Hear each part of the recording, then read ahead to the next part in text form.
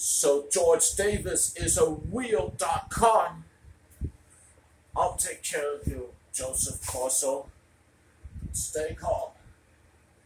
Dot com!